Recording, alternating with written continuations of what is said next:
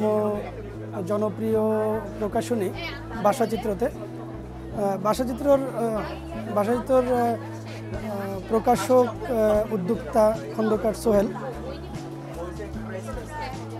আমার এ পর্যন্ত আমার দেখা অন্যতম একজন কি বলব ইন্সপায়ারেবল একজন প্রকাশক বলতে পারি। ভাষাচিত্র অ- অন্যান্য অন্যান্য প্রকাশনীতে যেরকম হয় যে আমি তুলনা করছি না জাস্ট তথ্য দেওয়ার চেষ্টা করছি। যে অন্যান্য প্রকাশনীতে যেরকম হয় যে লেখা প্রত্যেকটা লেখার দায়, দায়িত্ব, দায়িত্বটা, দায়বদ্ধতা লেখকের উপর থাকে বেশিরভাগ সময়। কেউ কেউ হয়তো ব্যতিক্রম আছে, কিন্তু সেদিক থেকে ব্যতিক্রমের মধ্যে আমি মনে করতেছি যে খন্দকার সোহেল একটু এগিয়ে আছে। ভাষাচিত্র তার নিজস্ব একটা পাঠক শ্রেণীতে, শ্রেণি তৈরি করতে পারছে এবং সেখান থেকে দেখা যায় যে একটা পাঠক শ্রেণি লেখককে না বা লেখার লেখকের জনপ্রিয়তা কীরকম বা তার কি আছে, ওইটুকু দেখার আগে কে প্রকাশ করছে, এখানে ভাষাচিত্রকে তারা খোঁজে। এবং ভাষাচিত্র ভাষাচিত্র থেকে প্রকাশ করা একটা কন্টেন্ট মানেই এখানে ভালো কিছু। এরকম একটা ধারণা আমাদের অনেকটা পাঠক শ্রেণির মধ্যে তৈরি হয়ে গেছে ইতিমধ্যে। তো এদিক থেকে আমি বলব যে একজন প্রকাশক হিসেবে প্রকাশক হিসেবে খন্দকার সোহেল এবং তার ভাষাচিত্র প্রকাশনী যথেষ্ট এগিয়ে আছে। তো এই ক্ষেত্রে যেটা বলা যায় যে বই তো, বই বই অনেকেই মনে করেন বা অনেকেই বলেন যে বই কখনো পণ্য নয়, বই সাহিত্যের জায়গা থেকে আসা। কিন্তু আলটিমেটলি দিন শেষে এটাও এক ধরনের পণ্য। পণ্যটা ভিন্নভাবে হয়। চিকিৎসা সেবা এটাও এক ধরনের পণ্য। সেটা সেবা হিসাবে আসে, যার অর্থমূল্য আছে, সামাজিক বিনিময় মূল্য আছে। তো সেদিক থেকে বিবেচনা করলে ভাষাচিত্র এবং তার প্রকাশক খন্দকার সোহেলকে ধন্যবাদ দিতে হয়। এবং আমি আশা করতেছি যে ভবিষ্যতে তার এই ধারা তৈরি ধরে রাখবে। এবং পাশাপাশি আমি দেখছি যে সে বিভিন্ন সময়ে বিভিন্ন জায়গায় তার তার কন্টেন্ট নিয়ে, তার বই নিয়ে পাঠকের কাছে পৌঁছানোর জন্য চেষ্টা করতেছে। তার মধ্যে এই আগ্রহটা আছে। আমি লেখক লেখক দৌড়াবে, এটা যেরকম ঠিক আছে। একজন প্রকাশককে দৌড়াতে হবে। পাঠকের কাছে যাইতে হবে। এই জায়গাটা থেকে খন্দকার সোহেলের আইডিয়াটা খুবই চমৎকার। আমি আশা করতেছি তার এই চেষ্টা অব্যাহত থাকবে। আমি আমি আশা করতেছি ভবিষ্যতেও ভাষাচিত্র তার যেই উদ্দেশ্য এবং প্রকাশক তার যে স্টেমিনা এবং তার যে টার্গেট নিয়ে আগে যাচ্ছে, আমি মনে করতেছি এটাকে সে তার কাঙ্ক্ষিত লক্ষ্যে পৌঁছাতে পারবে এবং এটা অন্যদের জন্য একটা উদাহরণ হয়ে থাকতে পারে বলে আমি মনে করতেছি। আজকের বইমেলায় একটু ভিজে ভিজে একটু ঠান্ডা ঠান্ডা ভাব এবং বৃষ্টি হয়ে গেছে এবং এখনও বৃষ্টি হওয়ার আশঙ্কা মনে করা হচ্ছে। আমি এই মুহূর্তে ভাষাচিত্র প্রকাশনীর সামনে দাঁড়িয়ে আছি। আমাদের যে ভাষাচিত্রের যে মালিক এবং প্রকাশক তাকে আমি দীর্ঘদিন যাবৎ চিনি। আমি যখন পাবলিক লাইব্রেরির মহাপরিচালক ছিলাম তখন তার বই আমি দেখেছি, আমরা সরকারিভাবে তার প্রকাশিত অনেক বই আমরা নিয়েছি এবং তার যে বই মানে গেট আপ মেকআপ এবং তার যে উপস্থাপনা, এটা আমার কাছে ব্যতিক্রম মনে হয়েছে এবং সে নতুনদের প্রণোদনা দেয় নতুনদের উৎসাহ দেওয়ার যে একটি প্রবণতা এই প্রকাশকের মধ্যে, এটা অত্যন্ত প্রশংসাযোগ্য এবং সে নিজেও প্রকাশক, নিজেও একজন তরুণ যে এই যে তরুণদের উৎসাহ করা এবং ব্যতিক্রম ধর্মী বই এবং লেখক এবং লেখা সংগ্রহ করা, এটা একটা অত্যন্ত আনন্দদায়ক খবর এবং উৎসাহ ব্যঞ্জক খবর। তো আমি এই বইমেলা সম্বন্ধে একটি কথা বলতে চাই যে, এইখানে যে ঢোকার পরেও যে লাইনটা করেছে এখানে যে সারি করেছে, এইটা যদি আরও বিশ, পঁচিশ হাত পিছন দিয়ে দিত, তাহলে পাঠকরা, দর্শকরা এসে একটা স্পেস পেত। স্পেস পেয়েছে, চতুর্দিকে খোলা পেত, সে কিন্তু ইচ্ছামতো যেতে পারতো। কিন্তু এখানে ক্রেতাদের এখানে থেমে যেতে হয় অথবা এই জায়গাগুলি ক্রস করে সামনে চলে যেতে হয়। তো ফলে এই জিনিসটা মানে আগামীতে এটা একটু চিন্তা ভাবনা করবে কর্তৃপক্ষ, এটা ইয়া করি। আর আমার কথা হচ্ছে বই নিয়ে, পড়িলে বই আলোকিত হই, না পড়িলে বই অন্ধকারে রই। এই কথাটা শ্রোতারা এবং ক্রেতারা বুঝবেন অবশ্যই যে একটি আলোকিত বই মানে অনেকগুলি আকাশ, অনেকগুলি উপরে ওঠার মই এবং অনেক কিছু এইসব নিয়ে হইচই করা যায় এবং পাঠকদের আটক করার জন্য যে কলা কৌশল সেটাও প্রকাশকদের জানতে হবে, লেখকদের জানতে হবে। তো আমি এই মুহূর্তে এইটুকু বলে শেষ করি যে আসুন, বই কিনুন, বকে ভালোবাসুন, ব দেয়া বই হয়, বউ বিছানা, বালিশ, বালক, বালিকা হ্যাঁ বধূ, তারপরে বাতাস, বসা বাতাসা, এইসব ব দিয়ে খুব প্রিয় শব্দগুলি হয়। আসুন ব- বয়ের সাথে থাকি, ভয় পাই, না পাই, বই কিনি, নিজেকে জানি এবং নিজেকে জানাই।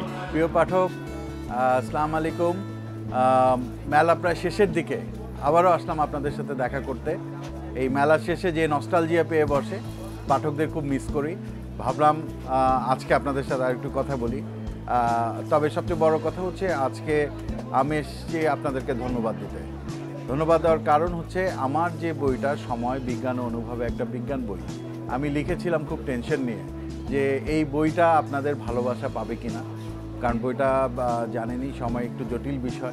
কিন্তু আমি খুব অবাক হয়েছি। আমার প্যারাসাইকোলজি বইয়ের চেয়েও এই বইয়ের প্রতি আপনাদের ভালোবাসা ছিল বেশি। আর ভালোবাসাটা আমরা বুঝি পাঠকদের যখন মানুষ নক করে ফেসবুকে ইনবক্স করে স্টলে এসে জিজ্ঞেস করে তখন এই ভালোবাসাটা বোঝা যায়।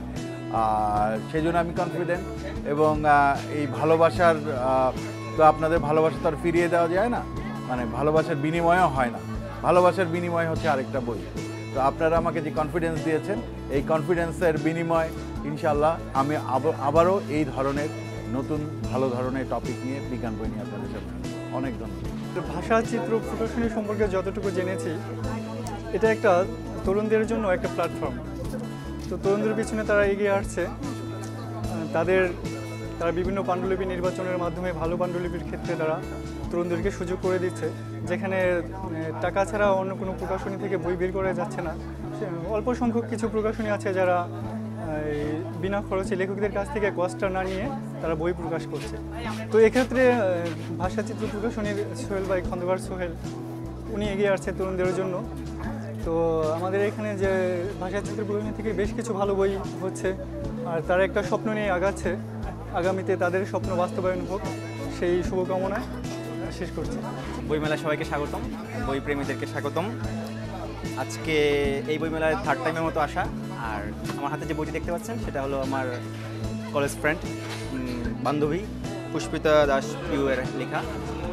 বন্ধু বলে বলছি না, তার মননের সম্পর্কে আগে থেকে পরিচয় ছিল। কলেজ লাইফ থেকেই পরিচয় ছিল যে সে যেহেতু লেখালেখিতে অভ্যস্ত ছিল সেই জন্য তার উন্নত মননের ব্যাপারটা উঠেই আসতো। এখন এই যে একটা বই, সেটা হলো এগারোটা ছোট গল্প। ছোট গল্পের একটা সুবিধা হলো সহজে পড়ে ফেলা যায়, খুব অল্প সময় পড়ে ফেলা যায়। সে এখানে কি আসলে খুলে বলতে চাচ্ছে এখন আমি পড়ি নাই, বলতে পারব না। আশা করি এই আড়ালটা আমাদেরকে কি আড়াল করে রাখছে, আমাদের নিজের প্রতিচ্ছবি আমরা দেখতে পাবো কি না আশা করি এই বইয়ের মাধ্যমে আমরা নিজেদেরকে খুঁজে পাবো, নিজের প্রতিচ্ছবিকে দেখতে পাবো। আমি যতটুকু সম্ভব, আমি বান্ধবীর থেকে শুনলাম যে এটুকুই সে বলার চেষ্টা করছে। ভাষাচিত্রকে ধন্যবাদ লেখকদের উৎসাহ দেওয়ার জন্য, লেখকদের সুন্দর সুন্দর লেখাকে বই আকারে প্রকাশ করার জন্য। ভাষাচিত্র স্টল এই বইমেলায় বর্তমানে চলছে একশো সাতষট্টি থেকে একশো সত্তর। আপনারা অবশ্যই ভাষাচিত্রের স্টলে আসবেন, বই দেখবেন, বই পড়বেন। ধন্যবাদ। প্রথমত ভাষাচিত্র প্রকাশনীকে অনেক অনেক ধন্যবাদ যে আমাকে বিজয়ী হিসেবে ঘোষণা করার জন্য। তাদের উদ্যোগটা অবশ্যই খুবই প্রশংসনীয় একটা উদ্যোগ। অ্যান্ড তাদের উদ্যোগের মাধ্যমে অনেকেই বই পড়ার ইন্সপায়ার হবে। আমাদের মতো স্টুডেন্ট যাদের পক্ষে এতগুলো বই কিনে আসলে একটু কষ্টকর হয়ে পড়ে তাদের জন্য এটা আসলে অনেক বড় একটা সুযোগ। একসাথে এতগুলো বই উপহার পাওয়া। অ্যান্ড আমি খুবই গর্বিত ওদের একটা অংশ হতে পেরে। অ্যান্ড তাদের এই সুন্দর উদ্যোগের জন্য আমরা তাদের কাছে কৃতজ্ঞ। ধন্যবাদ। ভাষাচিত্র প্রকাশনীর কুইজ প্রতিযোগিতায় অংশগ্রহণ করে পুরস্কার পেয়ে মাহবুলন বই পেয়ে খুবই আনন্দিত লাগছে। গতকালকে যখন হ্যাঁ, ভাষাচিত্র প্রকাশনীর এই কুইজ প্রতিযোগিতায় যে পুরস্কারের জন্য অংশগ্রহণ করলাম। পরবর্তীতে বিজয়ী হওয়া- হওয়ার পরে পরেতে ফোন পেয়ে মেসেজ পেয়ে খুবই ভালো লাগছে এখন আমি বাজেটের প্রকাশনীর পুরস্কার গ্রহণ করেছি। খুবই ভালো লাগছে, তিনটা নতুন বই পেয়েছি। হাচিত্র প্রকাশনীর তা আসুন, একবার ঘুরে যান। নতুন বই দেখেন, নতুন বই কিনুন, নবীনদের বই কিনুন, নবীনদের উৎসাহিত করুন। নবীন লেখকরা অনেক বেশি উপকৃত হবে। আপনাদের পদচারণায় বইমেলা মুখরিত হবে। এই কামনা, সবাইকে ধন্যবাদ।